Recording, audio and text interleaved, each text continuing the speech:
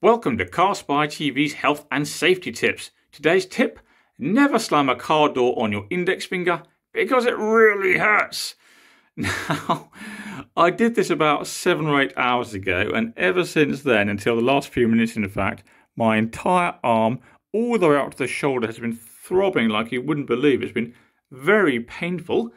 Mrs. Car Spy TV has kindly put this bandage on, partly because there's a whole lot of blood pulled under the nail, and also it does give me a little bit of protection if I do accidentally bang it on something, which I'm very keen not to do.